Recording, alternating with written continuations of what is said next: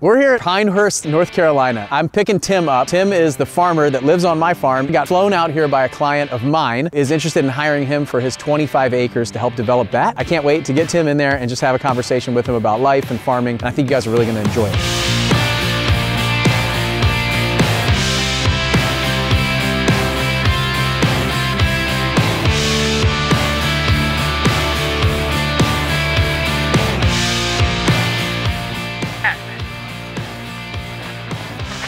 Hold on, hold on. Flip it around. That way. There you go. Um, okay, now I'm going to go back to the checklist. What we got here, so starter is off, ITT looks good, inertial separator's coming on, oil pressure is 120 in the green, ignition is auto, condition lower, ECS, cast, cabin altimeter, we're going up to 20, I think I filed for 22,000, 24,000. 24,000 feet, flight plan, I'll push that to the panel, I'm here to Maury County, activate that flight plan, ASOS, initial altitude, I'll go up to it's normal. I'll go up to uh, 8,000 feet. Um, prop feather, check this once. Here we go, torque's up, prop RPM is down, looks good. I checked the uh, anti-ice on the way here. All that stuff worked well. Uh, flaps are takeoff, bleeds, and on. Nav and strobes are on. All that's normal. Got a little bit of fuel imbalance as expected and put fuel in the right tank. All right, we'll taxi to runway 5 for takeoff. All right, runway 5, we got everything taken care of. I'm just gonna do a quick, like, quick map study. Make sure we don't break any rules. Uh, coming out of here, I'll bang a left, okay. Uh, light flight plan, prop overspeed. All right, you guys ready? All right, let's do this. Area is clear. Moore County, TBM 975, Charlie Alpha taking runway 5 for departure. Will be a left turn out, Moore County.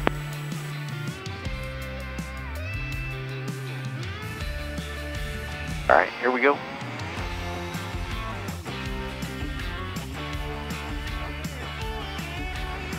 All right, 100%.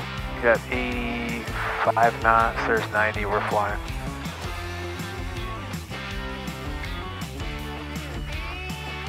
Alright, gears up, flaps up.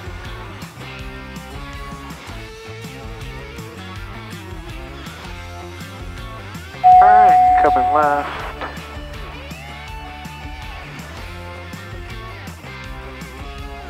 Moore County traffic, TBM 975, Charlie Alpha, be departing the pattern to the west, Moore County. Alright, autopilot's on, it's taking over. We're going up to 10K. That'll put us in the clouds. I'm going to keep the inertial separator on for now. Everything else, let's get my climb checklist real quick. So, climb checklist, gears up, flaps are up, all dampers on, engine instruments are checked. We got a little bit of heavy fuel on the right, so I'll be burning that down in the beginning during the flight, and then we'll alternate the tanks. Uh, at 10,000 feet, oxygen cabin pressure, it is pressurizing, it looks good. Uh, inertial separator. Okay. Who are you and what are you doing in my airplane? My name is Timothy Kercheville, and I am an 11-year full-time professional regenerative farmer and regenerative agriculture consultant and owner of Festina Lente Farms. You and I met two years ago, and you hired me to consult with you and help you build and actively farm and run Hidden Gem Farm with you into a dynamic powerhouse of a farm that it is now. Well, we have a very dynamic farm because we have a very dynamic team. Do we got two do. dynamic people Absolutely. in the front seat of this airplane, That's don't we? right, yes. No right, doubt. what does a regenerative farmer and agricultural planner do? That's right. Okay, so uh, a lot. But if I could summarize, a regenerative farmer is looking at a land uh, system or land and water system and is attempting to identify and recognize the pattern language of its natural state and then design agriculturally productive systems mimic the natural state of that piece of property. I am observing the way water falls on the landscape. I am observing the path of the sun. I am observing the uh, vegetation cover wildlife, habitat, residences, uh, any type of built infrastructure, pond development, road development, dams, orchard gardens, animals, livestock, wildlife protection. The regenerative farmer looks at these systems with an eye to maintaining the uh, natural ecology or building it into an even richer ecology while also producing food, fiber, and fuel. Yeah. All right, I missed a call. Uh, let me check in with Atlanta, then we'll come back. Yeah, I'm still five, so Apple. I'm still on 127.8. All right, we're checked in. A couple things to look at now, Tim. So we've got uh, GoPro out in the wing that's recording. If you look out the wings, we see some ice and rain and things like that. There's a little bit of rain and snow up Yeah. here that you can see. Yeah. Um, so we're going on the south side of this. Okay. So there's a whole. All this is uh, like a mix of rain and um, rain and snow. Okay. It's purple. Yeah. The yellow is kind of thunderstorms, and the green is just like light rain. Okay. So we're battling a little bit of that. We'll kind of go on the south side of that. But we should be getting to the top of this. But what, what do you think about this? Like this is we're in the clouds. We're Yeah, uh, we can't see anything. Can't see up or down. You can't tell if we're in a turn or a climb. Like, do you think we're climbing or we're turning? Oh, Like, we're how do you climbing right now. I Climbing? feel I can feel that we're climbing and we're and we're level. Okay, yeah. We're so we're climbing. We're wings level and we're climbing. Yeah. Yeah. So it's interesting. This uh, the couple that you were consulting with are clients of mine in my eight-figure group. They came out to see our farm and what we're doing in, in Spring Hill, Tennessee, and uh, said, "Hey, we want to work together at some point." So what? Um, you talked about how we met in uh, in Spring Hill. Tell me a little bit about like your your farming background. Like uh, you run your own business, so most of the people that watch my channel and are going to listen to this are business owners or aspiring business owners. They work Right. for somebody right now potentially, and they want to start a, their own business. Right. Might be scared. They Uh. might be wondering what that's like. And then we got business owners who are looking to grow and scale their businesses. Yes. So, um, t- what was your story of like starting a business, like the calling that you had to Sure. like leave whatever you're doing before to come into business? What was that like? Now that this is a fascinating story. Thank you for asking. Uh, so uh, when I moved to Kentucky, um, which is the land of my forefathers, my uh, Mama's family uh, were uh, generational farmers in uh, Cecilia area. My papas were coal miners uh, outside of Princeton and Central City, and I decided to uh, move in my adult life back to Kentucky from California um, and make a life for myself there. And I had always fallen in love with Kentucky since vi- from my earliest childhood. I loved the farmland, and I was called to it from my childhood. In fact, I said all the way growing up that I was going to move to Kentucky. Kentucky. I loved its farms. So uh, I moved back to Kentucky and I met a man who has become one of my best friends of life. Nathaniel Kramer is his name, and he is the most excellent mason, stone in particular, mason, that you will probably ever meet.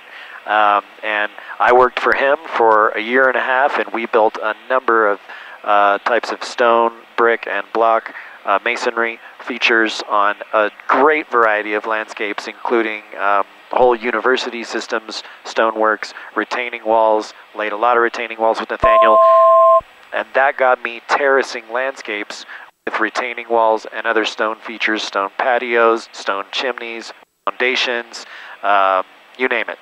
We did it. So I worked for him for a year and a half. Uh, he was going through kind of a hard time in his life, um, and uh, and I wanted to maintain our friendship, and um, I thought that our friendship would be better served if I no longer worked for him, and it was always going to be a temporary thing.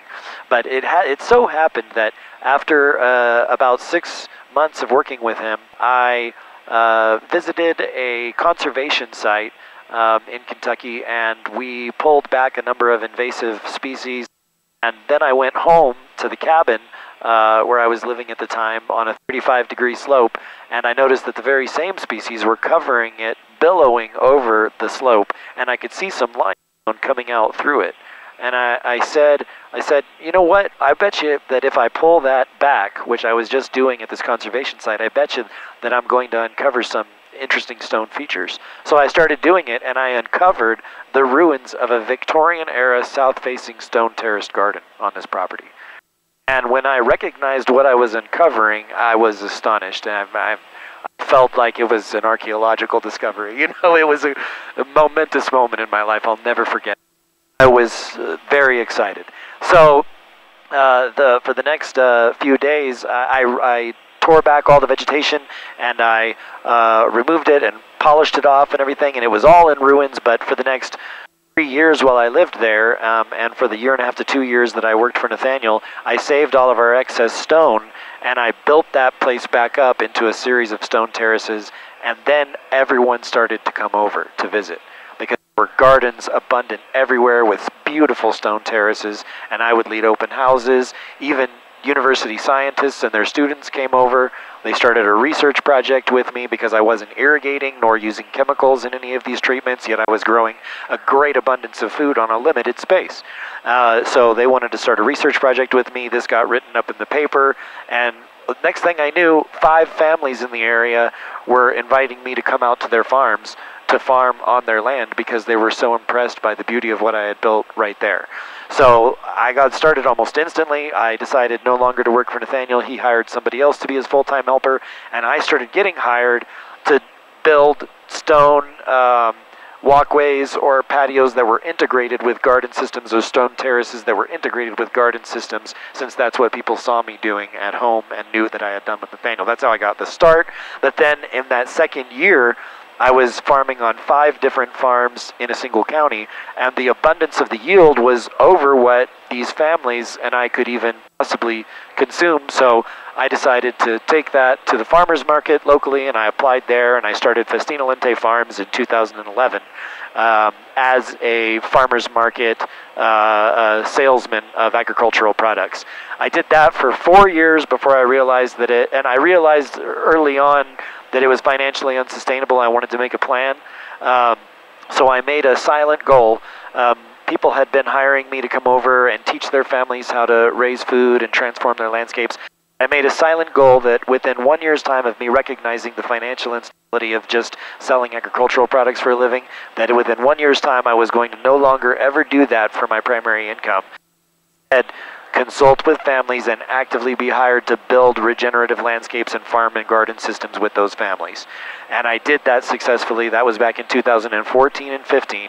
And although it's been, I say I did that successfully, but I mean I sacrificed everything along the way and encountered a number of. I mean, it's a whole journey by of that? life. What do you mean by that? Well, uh, What I happened uh, there's, there's, there's the, you know, um, in the beginning, I didn't know how to be financially sustainable. I was extremely poor in the beginning, but I was so passionate. I knew that I had this vision and this desire. Something had overtaken my life when I began raising food and developing landscapes into beauty and abundance.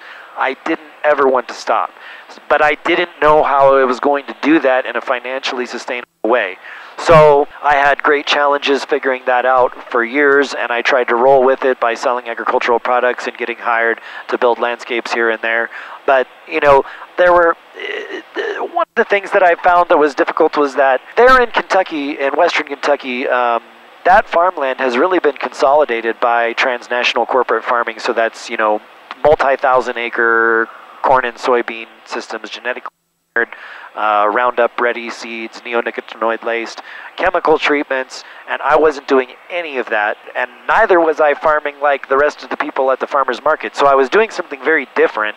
And I ran up against a lot of people not understanding why I was doing the things the way that I was doing. I ran up against a lot of skepticism. Um, I ran up against. Uh, also, this is the other thing that I didn't learn, but I needed to learn. Never ever go where the answer is maybe or no. Only go where you are invited to go. Only go where there's a yes attitude. So at the beginning, I saw the transformative nature of what I was doing in landscapes, and I thought everybody should do it. So I tried to convince everybody to do it. Well, some people didn't want to do it. You know what I mean? And then there were some properties that were owned by, you know, complex organizations. Many of them wanted to do it, but some did not want to do it. And, you know, so I ran up against some obstacles there. It was socially challenging and um, and, and I was also I was identifying how there were um, there were great methods that were en- encompassing millions of acres that I saw that were not regenerative but degenerative to the natural ecology and to farmers' lives the farming economy, and I wanted to make a change. So I did everything that I could. I, I even tried to help. I did, in fact, co-author an agricultural agenda for the Commonwealth of Kentucky's agricultural systems in a statewide race for Commissioner of Agriculture. I was so trying to do whatever I could to help change systemic ways of agriculture, but I ran up against a lot of opposition because people didn't understand my vision. So what I learned to do through that s- struggle and suffering and the poverty that I was experiencing was I learned that that I learned the hard way too that I can only ever go where anybody has a total yes attitude to what it is that I'm trying to bring to the table. And I learned that, which was around 2016. That was when. Well, let me summarize yeah, some of this. Yeah. So number one, like there might be an application to business here uh, all around any business, right? So you've got something that you're incredibly passionate about, and you're willing to go through like financial struggles, Yes. stress, problems, uh, relationship Yes. problems, Yes. like give Yes. up everything. Yes. Just burn it down and say, I just want to do this for the rest of my life, or at least for the the time being and the foreseeable future, right? That's right. And I feel like anybody who's starting a business for the first time, that's what they feel like. Like um, Elon Musk has a quote. It's very difficult to start companies and, and quite painful. Um, I think that's important to bear in mind. I don't know if that's that's probably not encouraging. So there's a friend of mine who's got a good phrase for doing a startup. It's like it's it's like eating glass and staring into the abyss. If, if, if you if you go into it expecting this, it's going to be just fun, uh, you will be disappointed. Um, it's not. Um, it's quite painful. Um, it's much easier to, to get a job somewhere. Uh, you know, I, I felt like that at times, but I'm like, I'm so passionate about this that I'm willing to just, I'm willing to suffer for the for what I can I can see the future, Right. right? And so I think that's what a, a good visionary can do. They can see the future. Might not know exactly how to get there, but like, I'm just going to keep taking one step and one step and one step. And then what else I heard was when you said, go only where it's a absolute 100% yes. Like, right. stop trying to to work a market, and a market being like an avatar, a group of people, um, some a place where you think that your people are, and forcing your ways, your methods, or what you're selling down their throat. That's right. Instead, go to a place that that welcomes you with open arms, and that would be a really like healthy blue ocean type market of people that are very interested Right. in what you're talking about and doing. That's right. So those are the things that I got from this. Like these two things, I think are so powerful for anybody who's starting a business in any industry, like That's right. farming, uh, info product, real estate, like uh, anything. It doesn't matter. Brick and mortar. Right.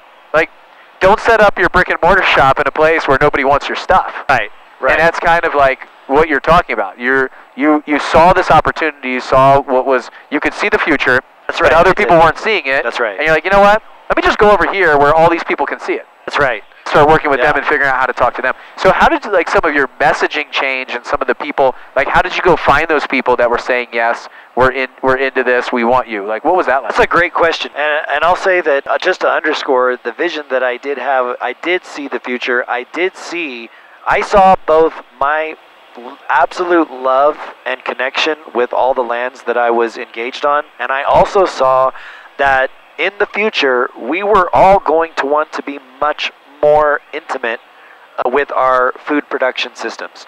Um, and I knew that the that the overall market for that was enormous, more than I could ever tap into because we all eat multiple times every day, and uh, and our food systems were largely consolidated by corporations that we had no control over. So I knew that there were going to be myriads of property owners in the future wanted more intimacy and knowledge of how to turn their land into regenerative abundance. But I had to learn that's right to go only to those places where there was the absolute yes and so part of the way that my messaging changed um, was that at first I was um, taking my journal, my handwritten journal around, and I was writing in my journal all of my activities. I was even writing poems and I was writing short stories and I was documenting in creative writing um, that which I was learning out on the lands and the farms during the daytime. I was doing that at night. But the problem with that was that a lot of people could see my passion and they might even hear my writing if I were asked to share something, but they couldn't see what I was actually doing in the landscape. And at the same time, I was saying that I was doing things in a different way than what most people are doing. Well, if you can't see it and it's a different way, why should you trust it? So, one of the things that I learned was, and one of my clients taught me, um, they introduced me to social media they said, look, you're the perfect person to be on social media. You need to be on social media. You need to share photos and videos of what you're doing so then you won't struggle to communicate with people how and why what you're doing is different. Either will they have any skepticism that it may not work, they're going to trust you because they're looking at all the things you're doing and it's incredible. All of us who know you and who see you interacting on these landscapes see that it dramatically shifts to abundance in a very short order of time. But the people that don't know you, you know, but who might matter greatly, you know, need to see this. So I got on social media. I learned to do it well. Which one specifically? Facebook. Facebook. I learned to do it well very fast. Um, uh, you know, I take my photographs and my videos and, and I communicated those photographs and those videos. I translated the beauty of the art that I was doing basically for myself in my journal. I translated that to a way that people could take part in it and they could become a part of the process. And when I did that, I was also still market farming at the time, so I was sharing all the abundance that I was selling, and families just started coming up to me at the farmers market saying, "Hey, you know, I've seen that you're raising this on a variety of lands, and that, you know, I've also heard that you not only sell products, but you also teach families." You know um, how to raise food on their land, but would you be interested in talking to us about that? Yes, I would be interested in talking to you about. that. So they started coming up to me at the farmers market and they started reaching. I, I put all my information on my social media so they could contact me. I started getting a lot of phone calls. I started getting a lot of emails. Maybe not a lot in comparison to what I have now, but it started to come in. And uh, I was fortunate um, that um, some great families um, asked me to um, work with them, and I did. And and I was also um, very frugal. In, you know, in the beginning, I, I tried to minimize my cost of living and my expenditures because I wasn't making a huge income. Um, but I never had to take a loan for anything that I did. I was profitable from day one, even though I was still poor. I was profitable. I wasn't losing money. I slowly built that up. And then after, you know, 2014, 2015, now I'm just full time regenerative farm building, regenerative garden, landscapes, consulting. By 2018, it was really picking up because the demand for what I was doing was enormous. You know, and that's why even when I had to go through fire, uh, the vision that I had uh, never faltered. Even at the darkest, most isolating moments, it never faltered because I knew that what I was doing was full of light and virtue, and I knew that it was going to be attractive to myriads of people, more and more to come as the future unfolded. What's interesting to me is I think that everybody who's listening to this can hear your passion and you telling a story and things like that, right? You mentioned social media, and you so you had this journal that you were writing all these things down that initially you were showing to people to say like read this, right? Yeah. It's, it's overwhelming, right? Yeah. And so then you took to social media and started posting videos and pictures and, and storytelling. Right. Um, so having you know known you for the past two years and following you on social and all the stories that you tell inside, I built a Facebook group and you're in there, to, you know, Yeah. sharing your stories and things, which is really helping us grow our our right. market and our share. Yeah. So what I saw before I keep going, it's uh, getting a little dark in here. So I'm gonna turn these lights on, and we will. Hopefully, it looks good, really good for the cameras. So it's uh, it's almost sunset. We got about probably 20 minutes before sunset. So, Okay. uh, but we're in the clouds up here, and like kind of dark and clouds. So we got the lights on. I'll probably have to turn them off before we land, um, just to make sure keep keep my night vision uh, for landing at night. But Ah. for now, we'll light up the cockpit because it's not going to affect us at all. We're all, we're in the clouds, so it doesn't. Yeah, matter. we are. Man, we have a 72 knot headwind. You see this? Do. This is I crazy. it. It's just not good. 72 knots in our face. I was hoping uh, my flight planning said about uh, 45 to 50 knots. So Wow. this is a lot. I mean, we're still at this Yeah, we took off at 90 knots, so that's At- just about the same speed. at this wind. Yeah. uh, you know an hour and 25 minutes still to get home. Uh, So hopefully we'll get some better wind here. And uh, I also we, I have I, I'm in the clouds, so I have to keep the inertial separator on. When I turn that off, it allows us to go a little faster. So Okay. instead of 280 knots, it'll be about 310. So we're losing about 20 to 30 knots, okay. but it's really not going to affect us a ton. So this just burns down fuel really fast. And, Yeah, sure. uh, it's just slow. So, but we had this tailwind on the way here. So Oh, okay. it's like a, you know, we had a 60 knot tailwind on the way here. Right. I'm hoping that once we, you know, another 20 or 30 miles, once we get closer to Tennessee, Ah, smooth sailing all the way. So this Ah. is this is the mountain range right yeah. here Wow. that you were uh, hoping to see. We are not going to see it. it's all right. So this is um, that right there is Knoxville. Ah. Airport, and then Okay, and so we're starting to see the elevation So- change here in the landscape. yeah, you that can see the elevation. cool, Yeah, so this cool. it's Yeah. synthetic uh, synthetic Wow, imagery that we is have. cool. So you see, we're going flat to to mountains. Wow. And so, but you'll see when we come across the runway, you'll be able to see the runway and the lines and everything in the screen. Right, so, right. um, but yeah, I if you that look, when we took off. if you look here, we were on the iPad. Yeah. We left here in uh, Pinehurst, North Carolina. Yeah. We're over top Charlotte right now. Okay. So Charlotte's airspace, flying over top of that. We'll fly right over Asheville, North Carolina. Yeah. So that's right here on the um, on the chart. This Yeah. this little blue area. This is uh, this should be Knoxville. It is. That's Knoxville. Yeah. Chattanooga right here, and then Nashville will be up here. We'll land in Maury County. Awesome. So um, we'll fly through some, just basically, you know, the west side of, of North Carolina and, and all through Tennessee. Ah. Um, so what I was asking you was uh, to kind of talk a lot about the uh, the storytelling that needed to happen. You were doing it in your right. in your book, and then now taking that online. What I've noticed from you is that you have a way of like pulling people into story.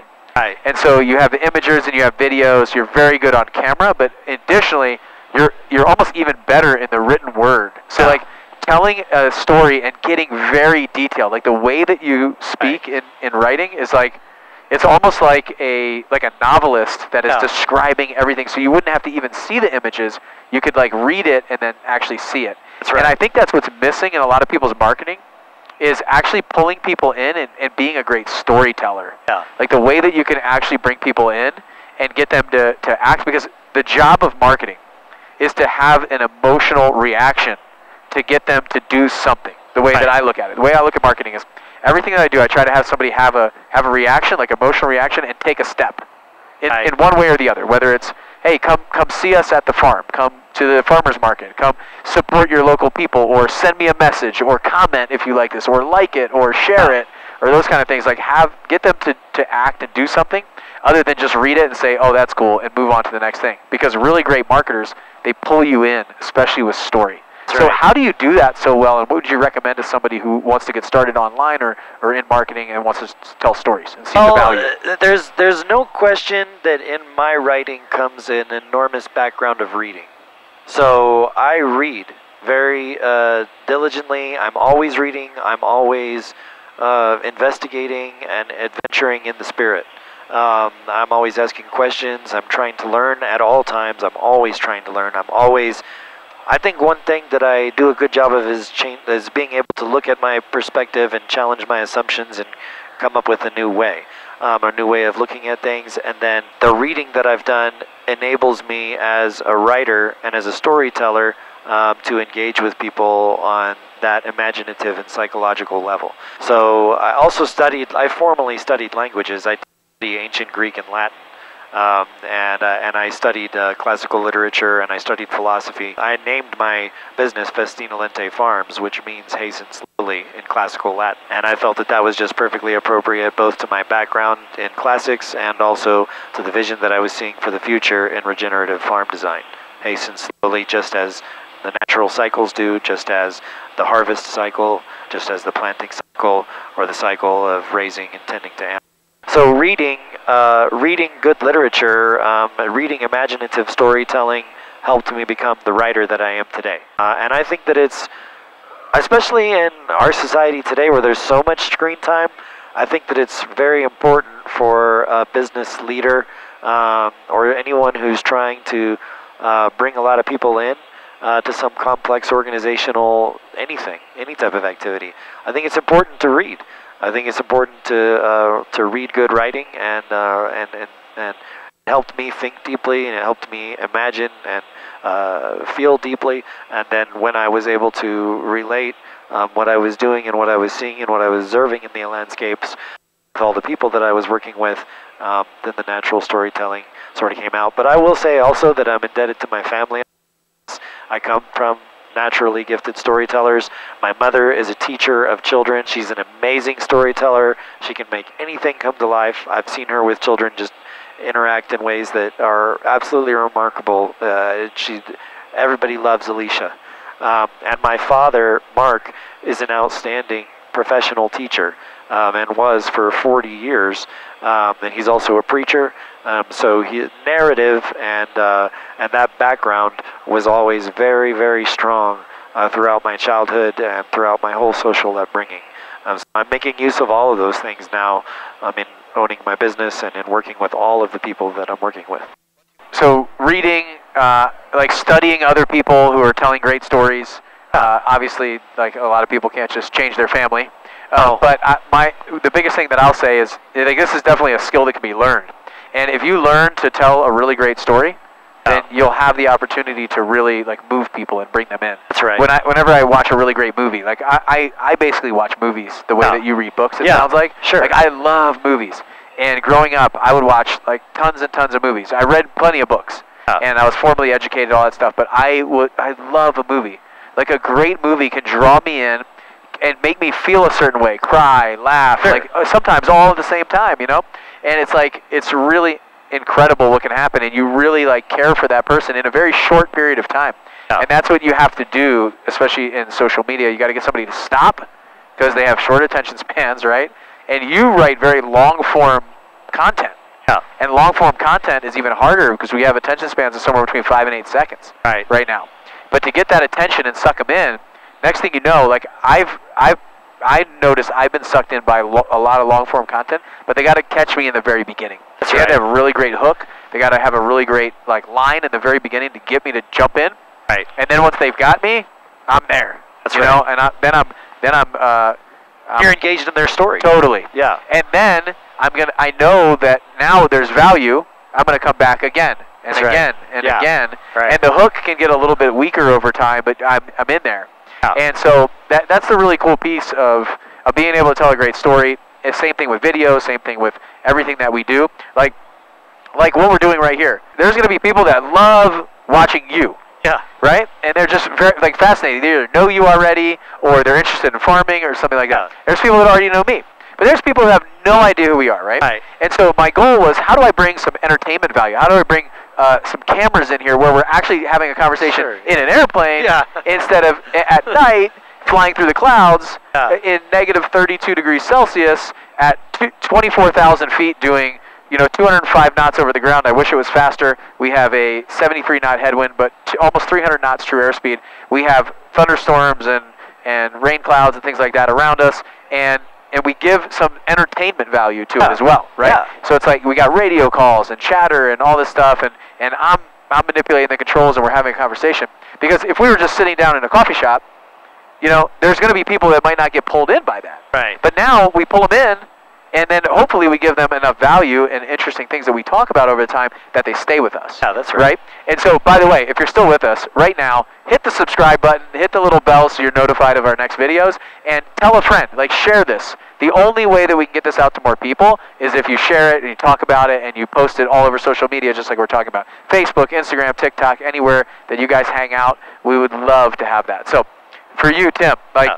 the thing that you mentioned, so storytelling is insanely important to me, my business, everything that I do, the emails that we send out, everything. We've made millions and millions of dollars, and I attribute it all to be able to tell a great story, to have a great hook, to have a great story, and to have a great offer. Yeah. And that's really important.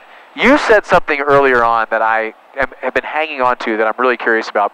You mentioned large companies and like grocery stores and these kind of places Yeah. that are providing the food for the majority of our our communities right now. That's right. Over the past few years, I have really kind of transformed my diet, what we eat, where That's we eat, all these things. I had this plan, and that's how we met. I had this vision of what I wanted to see, and we'll talk about it before the show's over. But I got to the point where I was like, I do not want to eat this crap anymore. That's right. I'm concerned. I don't know where it's coming from. I don't know what's going on. Can you talk more about that like epidemic that's happening Yeah, sure. all around the world right now with that kind of food? And like, let's get into detail and let's like open the door to what's really happening.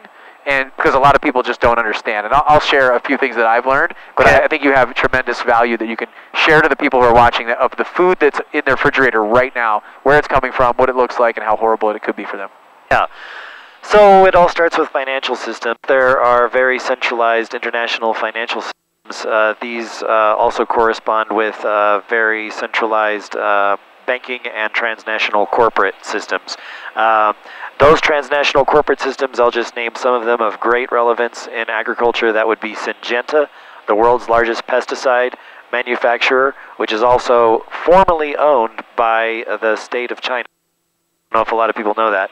Uh, Monsanto, which everybody knows about, no longer exists. It was purchased by Bayer back in 2018.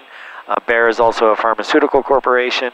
Um, so pharmaceutical and pesticide chemical corporations control in the United States corn belt every year 180 million annual acres of farmland. There's 90 million acres of uh, neonicotinoid laced, that's a chemical that's placed on the seed that actually even kills birds when they eat it. Um, neonicotinoid laced, genetically engineered seed uh, that's then treated with all types of chemicals when it's growing as plants, uh, corn and soybeans primarily, um, that is then uh, shipped as export commodities or is turned into corn syrup, which then gets put into all types of snacks and other types of processed foods. Um, that's also turned into the primary livestock feed. So most of the meat that you're eating is coming from the huge subsidiary corporations that are controlling the processing plants, and most of the animals that are going there ultimately are being raised at least for their fattening time uh, uh, on a on a drip line of chemically laced food. Uh, so uh, corn and soybeans in particular. So, and these transnational corporations then have funded the university research um, at the primary academic institutions. So then generations get trained basically farmed that way in accordance with those transnational chemical companies. And I'm coming into this not wanting to eat a bunch of chemically laced food um, and not wanting to have the food system be controlled by people that I don't know, but instead realizing that any landscape that I look at, I can imagine into abundance in a relatively short order of time. My life was transformed when I began uh, intimately connecting my myself with the land that was in front of me to raise my own food. My health was transformed. Uh, I had enormously more energy, and I saw that uh, also translated into the people that I was working with on their land, and I saw their joy, you know, impacted in the, the magic of being a part of the creative process of life, um, and then and then consuming those whole foods, um, it nourishing them and nourishing their children, and and then they were excited to share with their friends and neighbors. A bunch of my early clients ended up getting so excited that they started, you know, raising their own. Um, they didn't want to even use other nurseries. They wanted to raise their own plants and things like that, their own breeds of poultry and things like that. And then they started sharing that with their friends, and their friends were saying, "Okay, this is great. Now I've got all these tomato plants, I've got all these pepper plants, but I'm not really good, you know, at raising them." So then they said, "Well, why don't you work with Farmer Tim, and he'll help you raise those things?" So then I got to help them raise those things too. So it was the excitement of the intimacy of um, of being right there with the creative process, with the landscape, and enjoying the whole foods that come from it, as opposed to just being at the mercy of the transnational corporations that you don't know that are consolidating hundreds of millions of acres of farmland worldwide into chemically treated food. Yeah, I've spent, so I remember two years ago, so we met two years ago. Right. Um, and then while we were growing everything on our farm, I we had I had the opportunity to go to a 4-H auction in Williamson County. I don't remember if you remember this, Yeah. but I'm very competitive, Yeah. and so Lucy and I just went there on a date night, and I said, hey, you know, we've been doing this farming thing. Let's go over to this um, to this 4-H auction and just check it out. I have no idea what it's like. Yeah. So I went over there, and I got a little um, bid sheet, and sure enough, I started figuring out what was going on. And these people were buying these cows. There were cows and cows, goats, and lambs that were being auctioned off. The kids grow them and raise them uh, by you know by hand on their farm, and then they sell them for uh, for a a, uh, a fundraiser. So the money goes back to the kids and the 4-H program.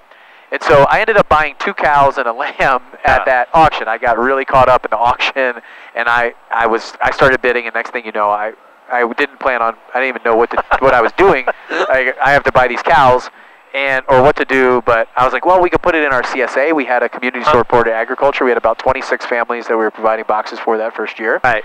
And I said, well, you know, I could sell it to the CSA. I could put it in there. And so I had to send it to a USDA butcher. I ended up going there to picking it up, to pick it up, and it got they got slaughtered, chopped up, all this stuff, and and packaged for us, right? And I went there and I, I met the owner. His name was Chad. I met the owner. It's Oh. a processing plant. They also raise their own beef and cattle, and he's got a co-op of other growers that he runs. And they he's a USDA certified butcher, so he he butchers the uh, the cattle and then also sells uh, retail himself. And so I met him, and we were talking about just beef, the beef industry in general. Yep. He told me a few stats. He said, on average, the beef that is in your in, in the grocery store has been on average uh, on seven trucks on average on seven Wow. trucks. They get slaughtered in one area, then they move multiple different times. He said it's likely to have been defrosted and refrozen because it's been on Oh. so ah. many trucks. Right. He's, he talks about how the fact that they can't actually trace that that beef Animal. back to one cow, Wow, especially all the ground beef. yeah. it's right. going it's going into a giant vat, and so if one animal is sick, it all goes into one place, Oh. gets ground down into ground beef, Right. and goes into a tube, and you and there's there might be 30 different animals that are in that. So if one cow was sick, it can it can have a problem throughout a, a entire like giant area of ground beef and beef in general and things like that, an entire plant. And so he talked about how they can trace their cow back to the individual tag, the individual cow, everything that goes to your freezer. And so I was like, wow, that's that's incredible. Like I want to learn more about this. Uh, Then we got so far as to talk about a product. So the actual product of ground beef specifically, and this pink slime. yeah. So pink slime being a ammonia washed beef. So if you look into this, if you're watching this, there's a there's a process called ammonia washed beef. And he said the problem with most of these companies and growers and everything is they don't have to share what's in the label. So if 20% or less of what's in there is a process, uh-huh. so not an ingredient, but a process. Then they don't have to talk about it. So a lot of the ground beef that you find in the grocery store and some of these big companies and corporations is what they do is they use this process called ammonia washing. And what they do is they strip the animal all the way down to the bone of everything. So all all the all the meat comes off this animal. It gets ground up and then what they do is they add ammonia to it. And they basically wash any disease, any problem gets killed by the ammonia in there. Yeah. And then that gets ground down into what you see as this pink slime, Yeah. which is it's been you know been kind of coined pink slime. And then so what they do is if they they can add up to 20% of that to regular ground beef that you have that is not ammonia washed, mix it together and give you a product that says ingredients ground beef. So the most disgusting thing I've ever seen. There's we- we'll link a couple videos with ammonia washing and some other things that you guys can see um, if you're watching this. And at that moment, I said, okay, how many cows can I buy from you? How can I get my family's food from here? Like I'm done shopping at the grocery store. I don't care who it is, where it is. I want to see the animal. I want to know where it's processed, and I want to drive my car there and take it from your freezer where the cow grew, you butchered it, and put it in my car and bring it back to my house, or you deliver it to my house. There you That's go. it. One truck, one car, solid frozen from his facility to my house, and we'll eat like that forever.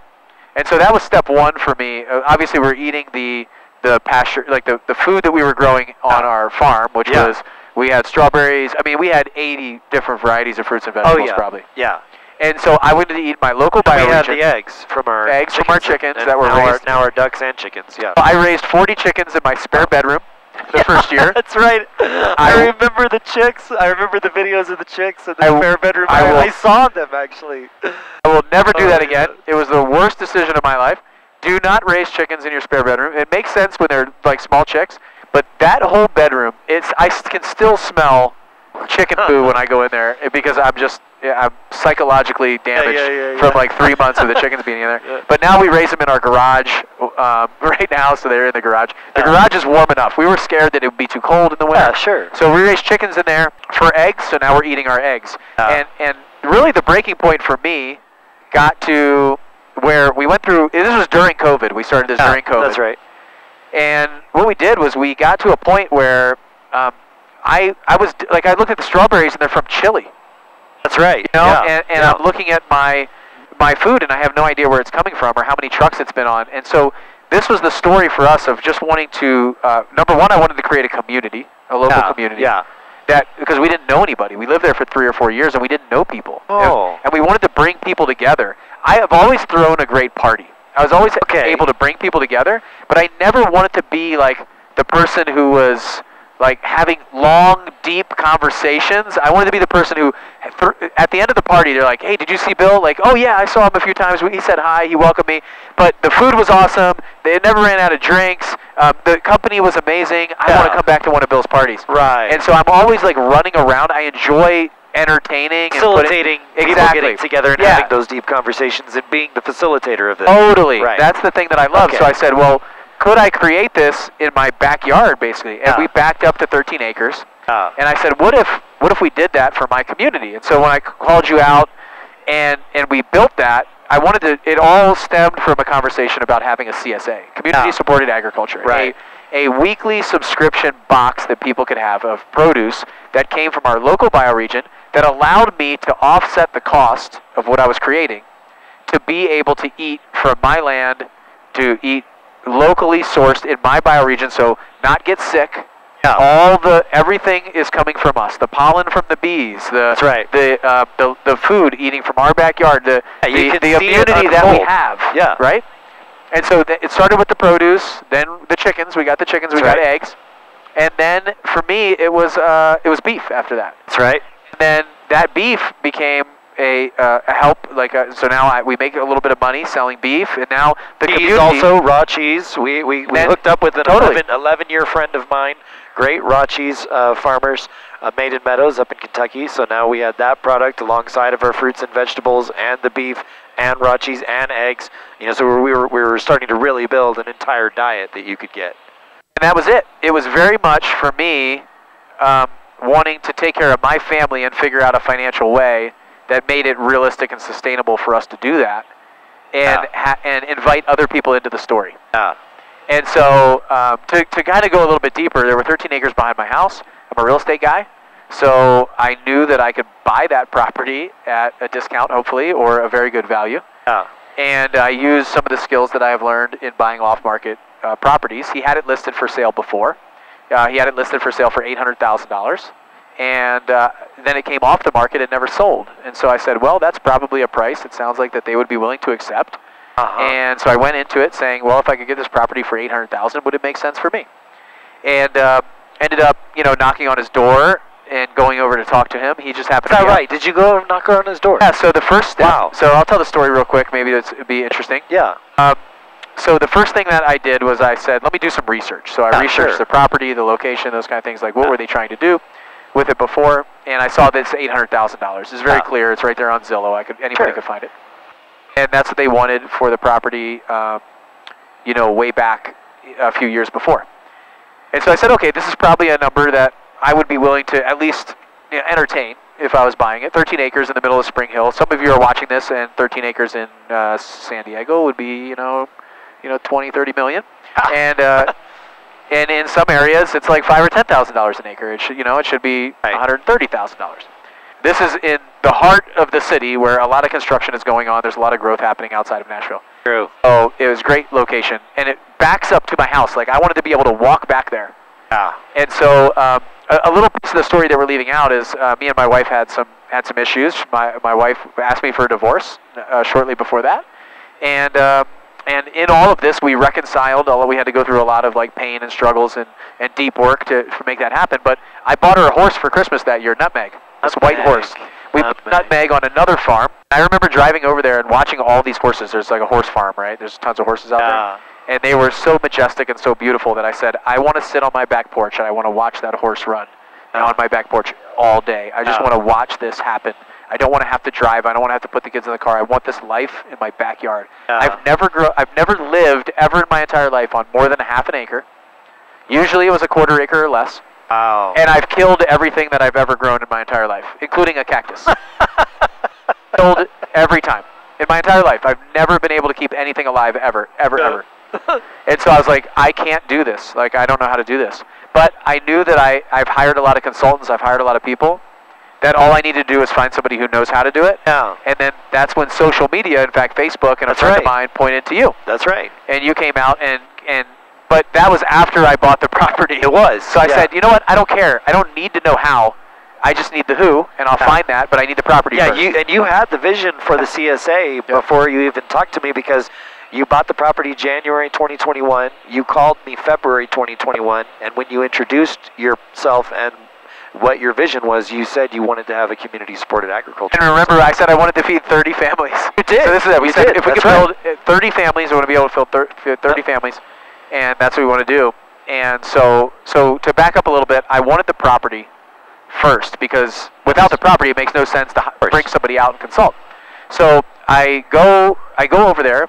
I write a letter. I write a letter to the owner about me, my family. I'm interested in buying the property if he's interested in selling, and I was going to put it in his mailbox first. That was going to be first step. And I had Lucy, myself, and the three boys in the back of her yellow Jeep. We drove over there. And it just so happened that Barry, the owner of the property, who I didn't know at the time, him and his son were working on the fence on the corner right by Okay, right by the mailbox when you turn in. Okay. And uh, I said, well, hey, Lucy, I'm just going to talk to him. Huh. And I got nervous, right? I got nervous. I got concerned. I was a little bit scared. And so I went over there and I, uh, I gave him, I, I- actually, I had the letter in my pocket and I said, hey, uh, I'm Bill. I live in that house over there. I pointed to my house and I said, by any chance, like, would you, I noticed that you had this for sale before. Would you be interested in selling this property again? Yeah. And then we just started talking about, I asked him questions about his life. I started to understand him and what's going on. Next thing you know, it's like 45 minutes later. Lucy and the three boys are still sitting in the car. Wow. It was a very important conversation that I needed to have with him. Sure. And he said, we would potentially be interested. And so I gave him the letter. I said, well, hey, I was going to put this in your mailbox. I drove over here to put this in your mailbox. Here's a letter. My phone number's on there. My email is on there. He said he needed to talk to his wife. I said, just, you know, call me or email me. This is around Thanksgiving time, just before Yeah. Thanksgiving.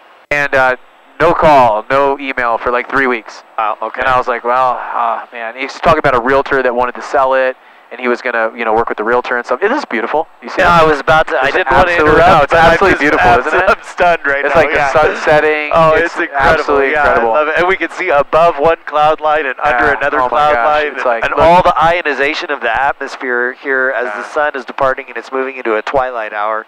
I'm actually incredible. going to try to turn off the lights and see if that Look at that! How we can see the separation of the noble gases, the blue argon, you know, and and hydrogen. Incredible, isn't it? Ah, it's uh, amazing. absolutely it's beautiful. amazing. So I, you, you don't even get like a really great image on the GoPro. I'm gonna uh, take this one off here and see if I can get a better.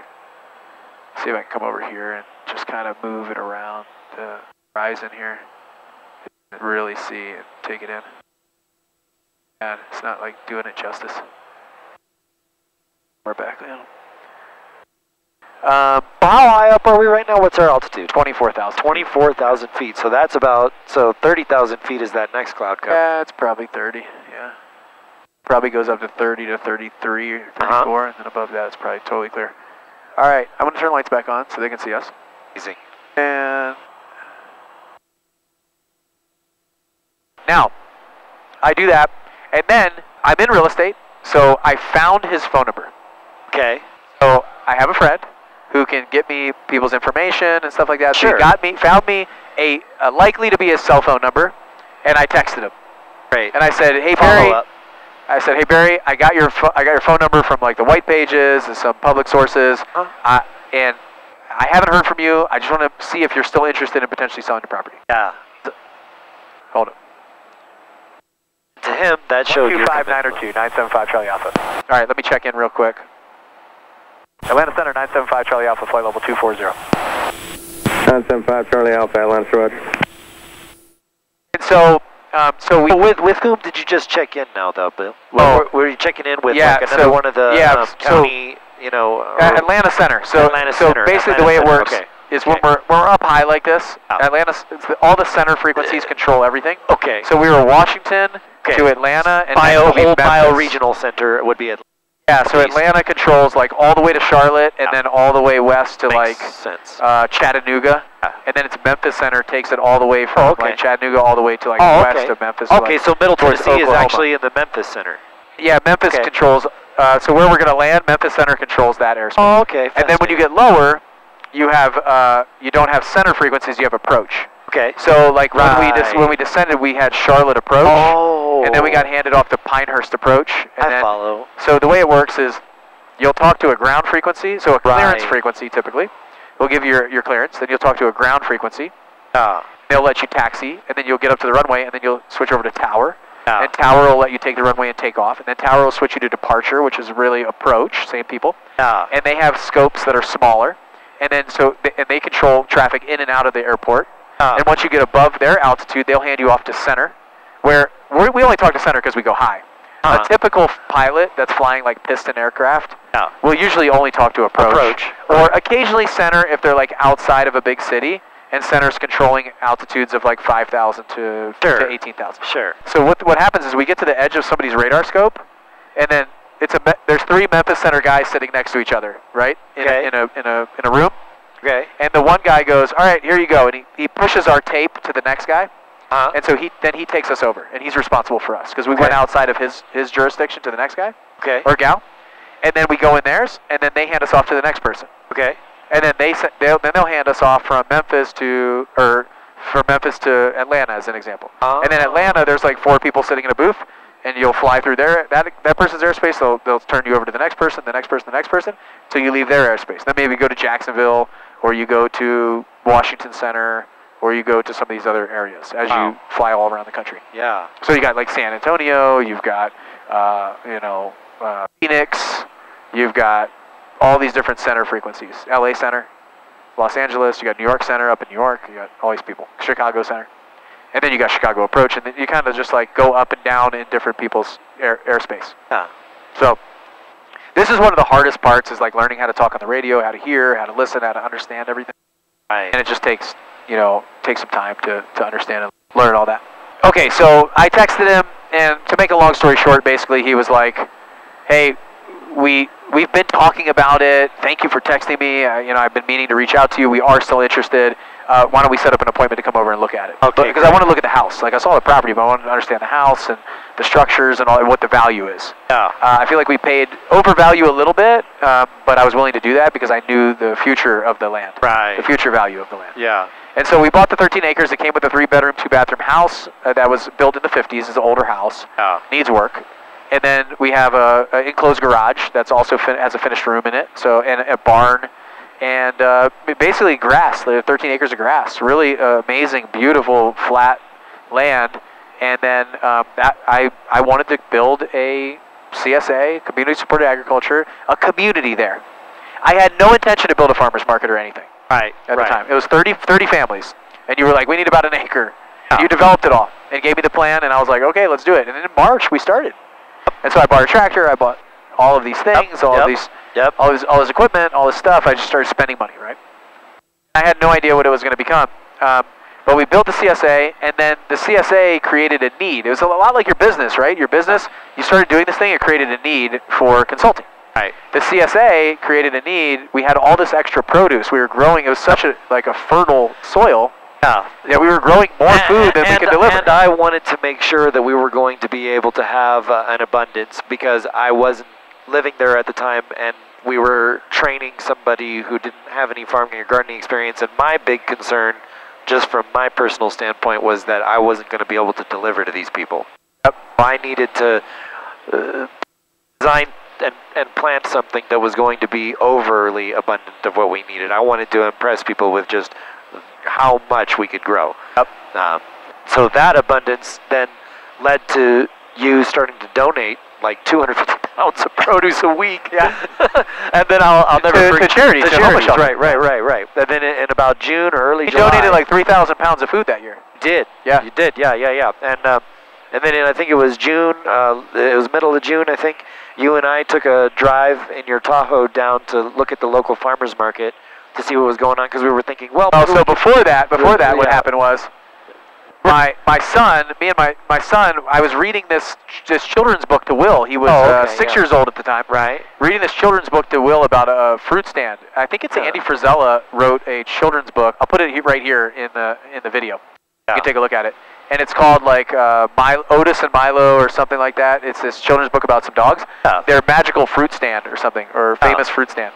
And uh, he was at the end of reading that to him. He goes, "Dad, could we set up a fruit stand out front of our house to sell our produce that we're growing at the farm?" And I could make some money to buy some things, and I was like, "Absolutely, son! Like if That's you want right. to do that, I set it up." remember this. And so then what what we did was we, we had all this extra like tomatoes and zucchini and squashes and Yep. and beans at the time, green beans. We had it, uh, we, we had this like abundant harvest, and we had hundreds of pounds of this food. Did. And so I'm pretty good on social media. Like I'm posting on social media at the time. I, I was I wasn't building. We didn't even have a name for the farm or anything yet. But I was talking about the CSA primarily. Right. And so I posted on our neighborhood page and like a local Facebook group that had like 40,000 people. We only have 40,000 people in our entire community at that time. Yeah. All of Spring Hill.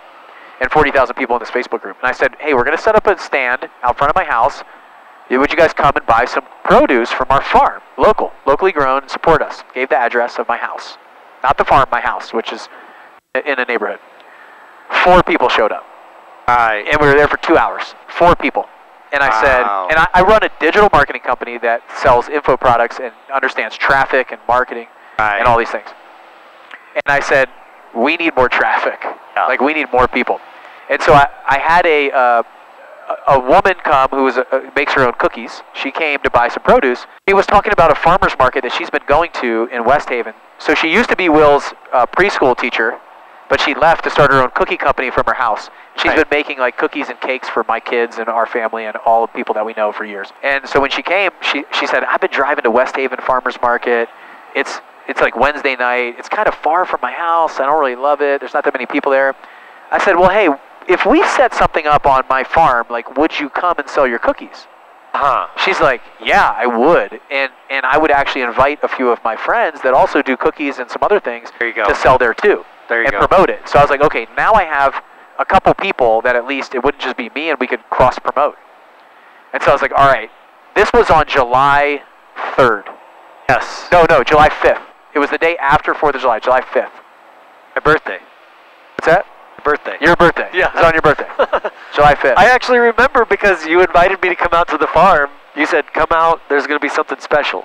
I Oh, said, yeah, Okay. yeah. I said, "Okay," but you didn't tell me what it was. yeah. Yeah. Yeah. And when we brought you a we, cake yeah, but we had, but we had, but we had taken a drive together to the local farmers market to check it out to Yeah, see so if that but, was on, but on the so on the fifth, that was like on the seventh. okay. So on the fifth, on July fifth, we had that little pop-up stand. We did have the conversation, and then that day I went back in my house. We cleaned it all up. I went back in my house and I posted on this group called I Heart Spring Hill. It's got like forty thousand people. It's like fifty percent of the people are always positive at posts, and fifty percent of people are like talking trash. Yeah. It's a typical Facebook group. Like half the people will love your stuff, the other half will hate it, and it's just always somebody like causing drama and ruffling feathers. This Yeah, is the way it is, yeah, like yeah. on social media in general, right? Sure. And so I posted, if I started a farmer's market on my farm in the heart of Spring Hill, would you come and what would you want to see there? That's it. I asked the people what they want. I didn't say, I'm doing this. I said, what do you want and what would you want to see there? And it, like, in 18 hours, it had a thousand comments. I remember that. In 18 hours, a that. thousand comments. And Wow. so I, it was blowing up. And so one thing that I did for you guys that are watching that are on social media, one thing that I did, a thousand comments, but 500 of those comments were mine. Every single person that commented, You I responded to. Great idea. Oh, that's great. Connect me with that person. Like, thank you for the comments. And here's the deal. Inside of there, I knew I had something when 100% of the comments were positive. There was not a single hate comment on my post of 500 comments. And so what it does when you do that, when you respond and it starts going viral in there, is it triggers the algorithm of social media to show it to more people. This is an interesting post because social media is designed to keep you on the channel. They want to keep so if they show people interesting stuff that stops the scroll, that keeps them on the channel and comment and like and engages, the more engaging your posts are, the more the more Facebook will it will show it to them. Same with Instagram, same with TikTok, all this stuff. The i same with YouTube, same with YouTube Shorts. I've had some YouTube Shorts that have gone pretty viral and gone crazy, and it's it, but it it it, it feather it like filters down over time. So you need that to go viral in the very beginning, and you need to it, you need to engage with those people to keep the engagement going. So that's what happened. That's what I did, and it went bonkers, like insane. I've never seen something go so crazy, other than people just fighting on there. So so much positivity that I so so what most people would do. What would what would a typical business owner do? They would say, you know what? Okay, now I need to get an LLC. Now I need to t- now I need to uh, figure out the setup. Now I need to go get uh, 20 vendors. Now I need to make sure that all these people are going to come. Now I need to get everything set up, and I'll I'll do a market in three months or a month from then. Oh, you strike. You struck well if iron. That's what you have to do That's what you have to do. because there's so much buzz about it right then. Right. If you don't harness that, okay, this and Saturday, launch- let's do it. and launch, yeah. And so, so you've got to just figure it out. And so what, it, what I did was I said, let's go look at the other farmers markets on Wednesday and Thursday. Gotcha. There were other farmers markets. I didn't ha- even have an opportunity to go to the Saturday ones. That's right. And so That we we went, went Wednesday, Thursday because I had driven down to help us build the next uh, season of the Farm Systems production systems. And Yep. so you said, while you're here, why don't you drive with me over there? we can went to see the one in Spring Hill. It was absolute garbage. Totally I hate dead. If anybody from Spring Hill Chamber of Commerce is, or not, uh, Spring City of Spring Hill is watching. I'm sorry, but it wasn't good. It was There was not a lot of There people was there. like there. seven vendors, four cars, like nobody there. And then we went to the one in Thompson Station. That was a little bit better. It was at at an actual barn and a little bit better, but still no, not a lot of traffic. Not a lot of traffic. And so I said, okay, I got to do this. I call the city. I talk to the city and I say, hey, I'm going to set up a farmer's market on my farm. It's a private property. Do I need a permit for this? And they're like, well, like, what are you going to do? How many vendors? I was like, I don't know, like, like eight or ten vendors, something like that, maybe twelve. And they're like, well, like, how many people? I was like, I don't know. I'm just going to set it up. They're like, oh no, it's fine. You can do it. Like, it's they're they're just in their head. They're like, nobody's going to show up. Like, it's cool. Like, yeah, just do it. I said, well, when do I need a permit? And they're like, well, probably when you get like over 20 vendors or so. And I was like, Okay. oh, okay, cool. And so I just, I put up a post and I said, this Saturday, we're going to have a farmer's market and on my farm, and I hope you guys come. And I, I there were people that, that said, I want to be a vendor, I want to do this, I want to do that. Like, it was really cool to see kind of the community come together. And then July 10th, five days later, was our first farmer's market. We had 16 vendors, 16 vendors, I think, somewhere around there. We had a couple things to sell. Some people brought some. Yeah. We had some cookie vendor. We had a woman who set up her cinnamon rolls, and she had a couple things of cinnamon rolls and things like that. We had a jam vendor come, and she had a couple jams and things we like that. have beef to sell at this time? no, no no beef. No, we did- No, we it was just just our produce. Okay, and that's right, I Couple, remember. we made a couple extra boxes. Yeah, yeah, yeah, yeah, yeah. So we sold like five extra boxes or ten, like five I think the first week, and then some of our like I- I remember it, yep. produce. We had right. another big produce vendor, RC Farm, showed up, and what we did was uh, we just opened the gates, and dude, no joke, six hundred people. of people. When I drove up, I drove up 30 minutes in, expecting. I didn't know what to expect. Me You know, neither. I didn't have any idea what to expect. When I drove in, I was laughing. I was laughing for joy and astonishment. I, I just, I couldn't believe the amount of people that I saw in that Northwestern Market paddock that we got. It was nuts. It was absolutely and There's insane. people coming in, and there's the horses and the stables in the background. It was so lively, so much more traffic than what we had been seeing when we were doing our research of other markets in the area. Uh, I was blown away, and it was just a big party, and everybody was. It was awesome. Everybody was outside. Everybody was talking on the farm. Conversations were being had.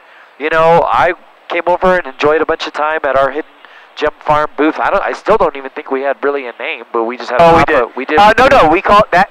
So That was when we called it Hidden Yeah, Gem we did because we called it the Hidden Gem Farmers Market. So Okay, because okay, I, I okay. said I said we're going to create this speakeasy farmers market. I did some marketing around it. Okay. So when when we started talking about it, Lucy kept saying, It's a hidden "We gem. have we this got a hidden, gem. We have this hidden gem."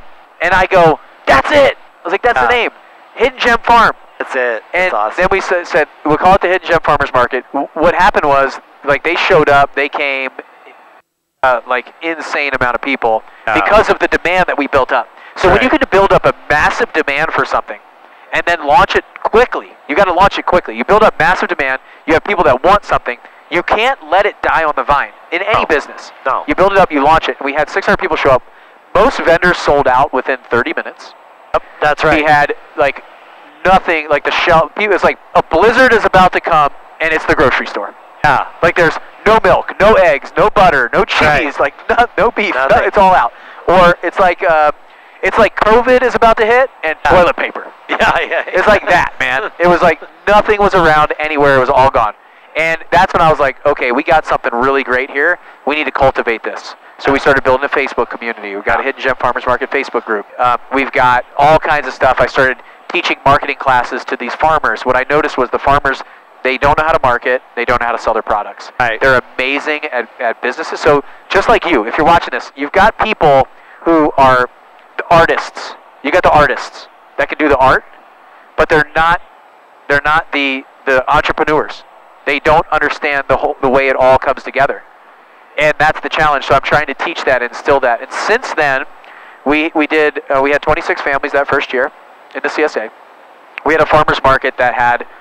Uh, we at some at one point we got to the point where we were putting fifteen to twenty thousand dollars of cash through that market, um, through all the vendors and everything like that. We were doing a couple thousand dollars a week when we implemented the beef the first year. Um, we didn't put the cheese in until this year, I don't think, the second year, uh, right? Uh, oh, we had some, we have some we cheese had cheese last year. Some, We some had cheese towards the end of the first year, um, and and some of our produce the first year, and then um, You're right. It was more this year that we were really going home with the cheese. yeah, and this year we've done. Um, I mean, I have it here on my iPad, but we've done probably almost two hundred thousand dollars through the farm this year, um, not including the CSA, uh, of just beef, cheese, uh, elderberry products, some some produce. Some oh, we do a lot of berries. We we buy some berries wholesale. We've transformed a ton. We've gone from one acre the first year to about three acres, maybe a little more this year. Um, we went from 26 families to upwards of over 60 families this year at one point That's right. that we were feeding for 30 weeks straight. Um, our farmers That's the market. biggest single farm CSA in Tennessee, mind Yeah. you.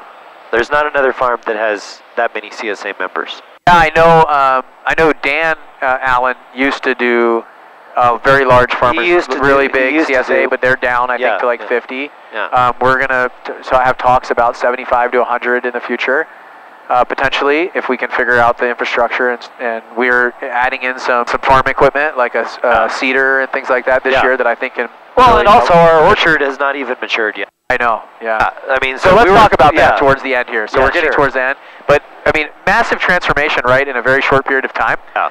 And so it's really been amazing to see what we've been uh, able to do in a very short period of time. And that's what I want to leave some of the people on here with: is you can do way more than you think you could do in in a, i- like a, a more of an extended period of time.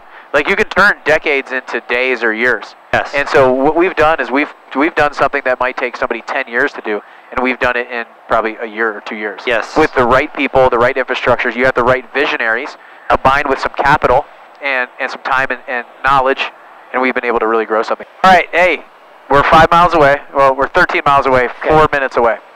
Uh, I need to turn the light off. We're about to go in the clouds. I need to focus on flying.